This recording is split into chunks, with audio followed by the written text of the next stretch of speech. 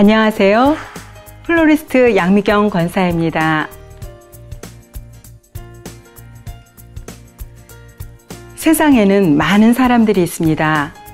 하루하루 삶에 지친 사람들, 가치 없는 무언가에 이끌려 세상을 즐기며 사는 사람들, 흘러가는 세월 속에 아무런 계획도 소망도 없이 살아가는 사람들. 하지만 주님을 만나 새 생명을 얻고 가치 있는 삶을 살아가는 우리는 참으로 복되지요. 무슨 일이든 확실한 목표가 있고 소망이 있는 사람은 마음가짐이 다릅니다. 여러분에게는 어떤 소망과 목표가 있으신지요? 힘차게 그 목표를 향해 달려가시는 모두가 되시기를 바랍니다. 플로리스트, 여러분과 함께 힘차게 시작하겠습니다.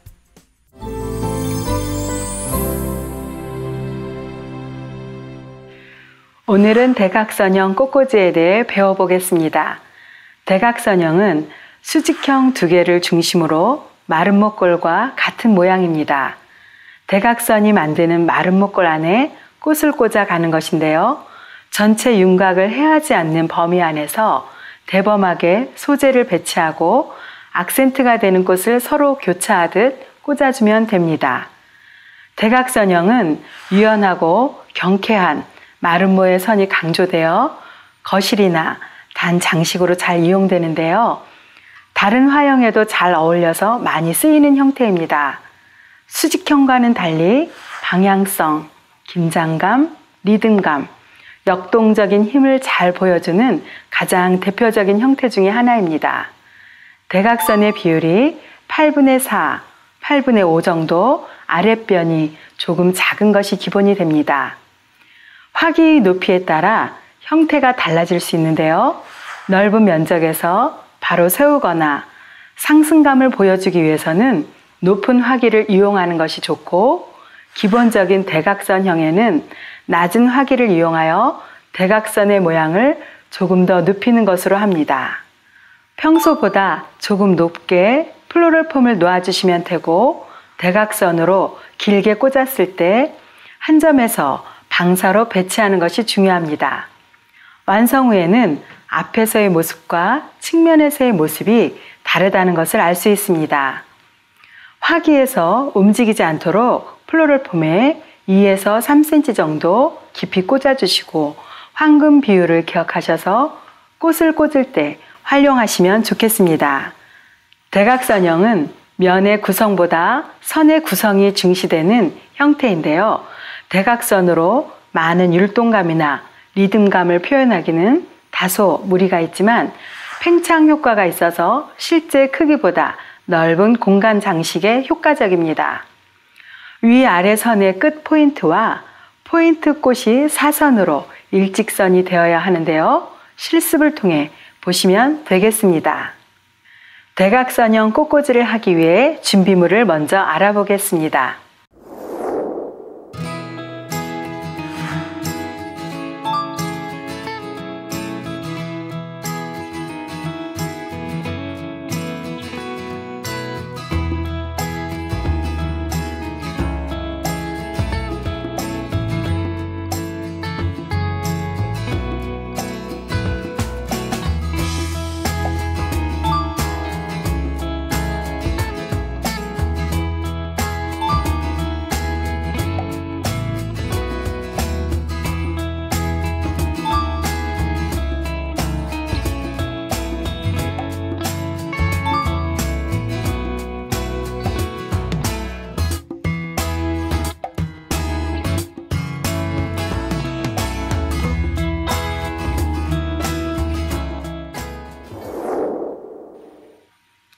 저와 함께 기본적인 대각선형을 해보실 텐데요. 저는 글라디올러스, 알스트로메리아, 스토크, 시베리아, 장미, 소재로는 측백을 준비했습니다. 앞서 말씀드린 대로 낮은 화기를 준비하고 꽃을 손질해 두었습니다. floral foam을 화기에 맞게 자르고 구등분합니다. floral foam을 약간 높이 있게 하기로 하셨죠? 직선적인 소재를 1번으로 하여 50에서 60도 정도 누운 듯 사선으로 꽂아줍니다. 그리고 1번과 일직선이 되도록 대각선 상에서 밑으로 흐르듯 2번을 꽂습니다. 같은 꽃으로 3-1과 3-2가 서로 대칭이 되도록 꽂습니다. 포인트가 되는 꽃을 포인트 앞쪽으로 45도 정도 기울여 꽂습니다. 그리고 다른 꽃들로 메꿔 마무리하면 되는데요. 제가 한번 꽂아 보겠습니다. 잘 따라 해보세요.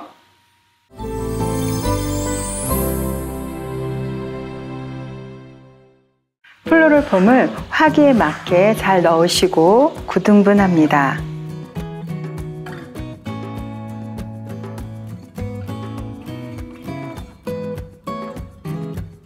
9등분 정도 이렇게 눈썰미로 이렇게 하시고요. 이제 글라디올라스를 1번으로 일직선이 되도록 제가 꽂아 보겠습니다.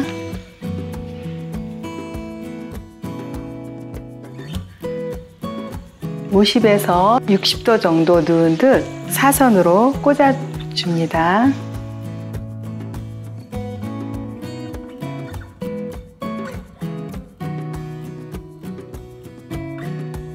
그리고 1번과 일직선이 되도록 대각선 상에서 밑으로 흐르듯 2번을 꽂습니다.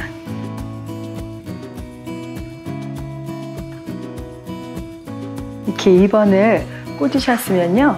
같은 꽃으로 3-1을 꽂겠습니다.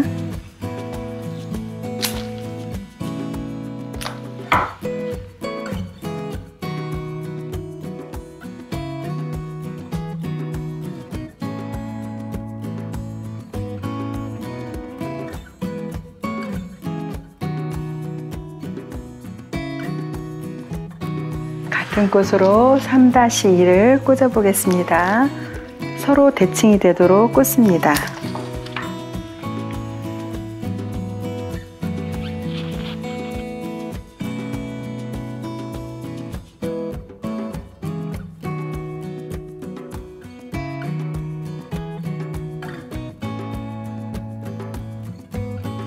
포인트가 되는 꽃을 앞쪽으로 45도 정도 기울여 꽂습니다.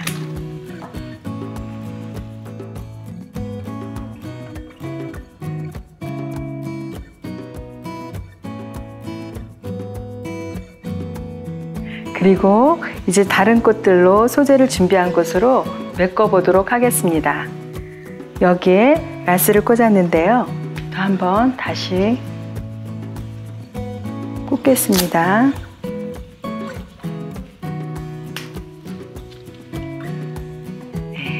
꽂아주시고요. 이제는 포인트 되는 꽃을 이렇게 꽂았는데요. 그 옆에 장미로 또 꽂아 보겠습니다. 장미는 말씀드렸듯이 제가 겉잎을 이렇게 따시면 깨끗하게 되니까요.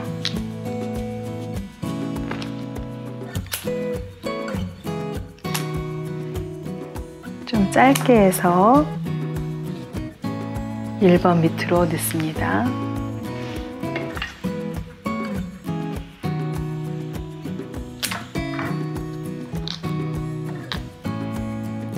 1번 밑으로 꽂았기 때문에 2번으로 또 짧게 알맞게 꽂습니다.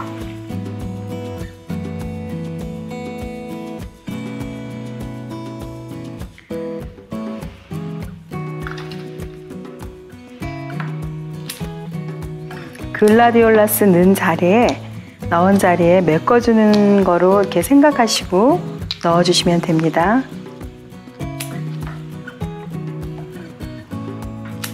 3번은 라스 길이가 짧았기 때문에 꽃의 길이도 비율에 맞춰서 또 짧게 넣습니다.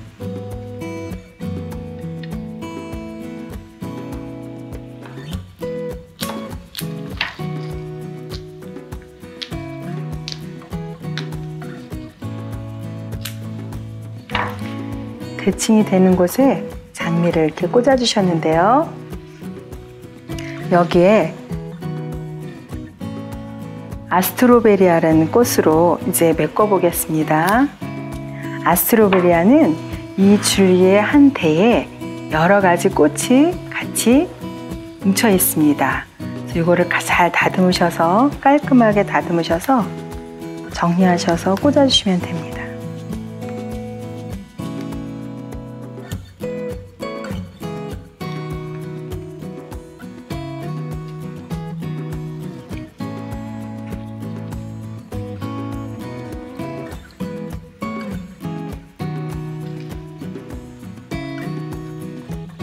여기도 알맞게 자르셔서 해주시고요.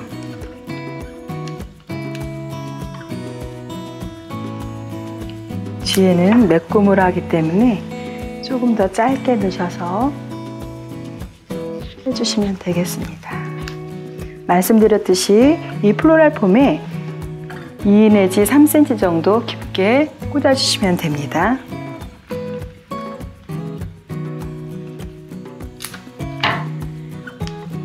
꽂으시면서 하나만 더 꽂아보면 될 것 같은데요.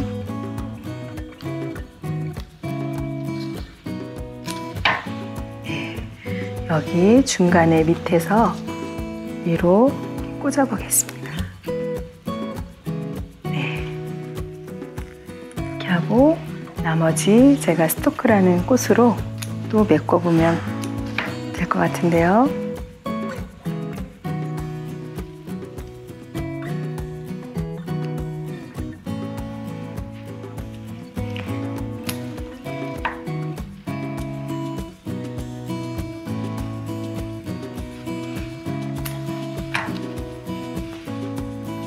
이렇게 알맞게 보셔서 이렇게 매꿈을 해주시는 생각으로 이렇게 꽂으시면 됩니다.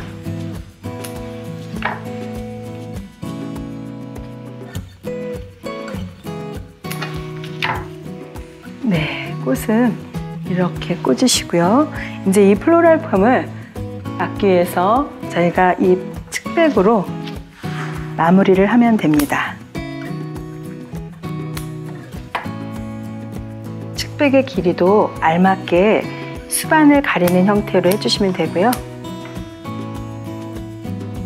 지금 제가 아까 말씀드렸듯이 이 플로럴 폼이 저희가 세로로 높아졌기 때문에 조금 더 많은 양으로 이 꽃을 소재를 갖다 이용을 해야 될 것 같은데요.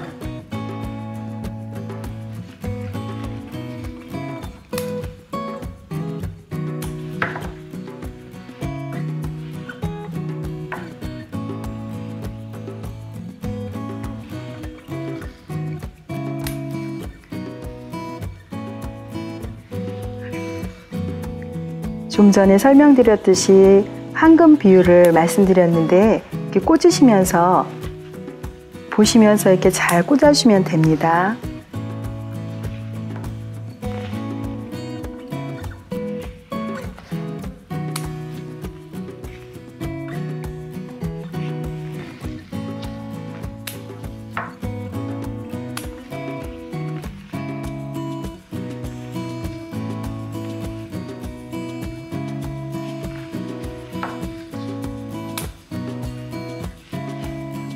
예, 앞에는 어느 정도 매꿈이 됐고요.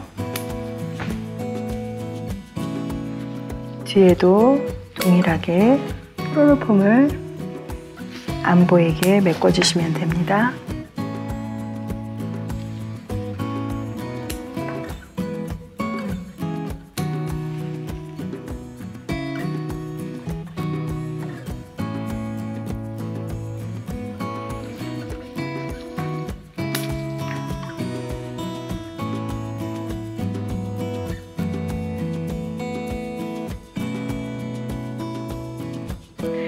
자, 이렇게 대각선형 꽃꽂이가 완성이 되었네요.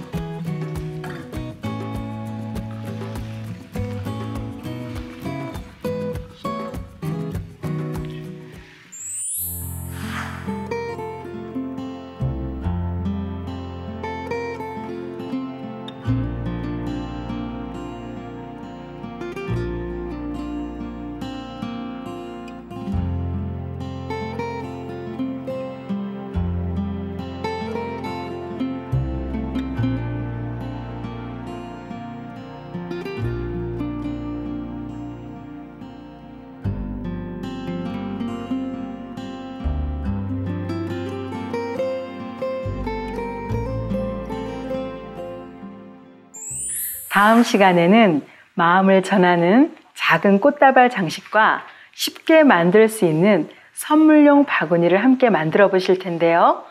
작은 바구니와 꽃, 그리고 장식할 리본을 준비해 놓으시면 좋겠습니다.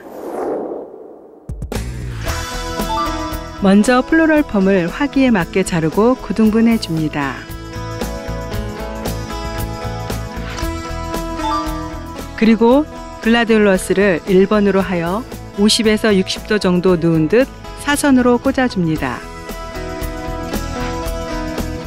1번과 일직선이 되도록 대각선 상에서 밑으로 흐르듯 2번으로 꽂습니다. 같은 꽃으로 3-1을 꽂아주시고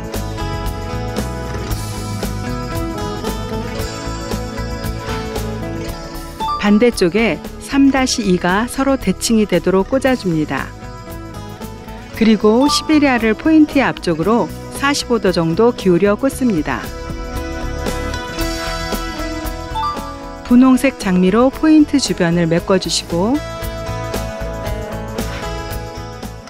알스트로메리아도 꽂아줍니다.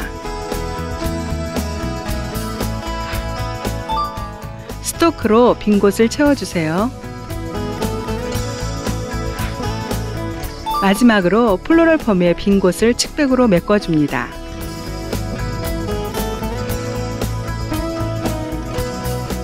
이렇게 해서 대각선형 꽃꽂이가 완성됩니다.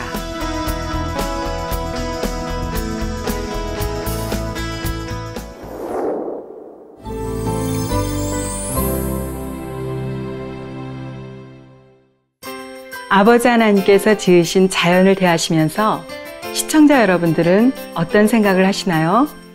정말 아름답다. 놀랍고 신기하다. 네, 그렇습니다. 저 역시 꽃 한 송이를 보면서도 아버지 하나님의 살아계심과 온전하심을 느낍니다. 우리를 사랑하시는 아버지 하나님께서 우리를 위해 주신 모든 것이 얼마나 아름다운지요. 하늘도 보시고 신선한 공기도 마시며 아버지 하나님을 느끼는 하루. 풀과 나무, 꽃을 보시며 주님의 섬세한 사랑을 새기는 하루 되시기를 바랍니다. 플로리스트, 저는 다음 시간에 뵐게요.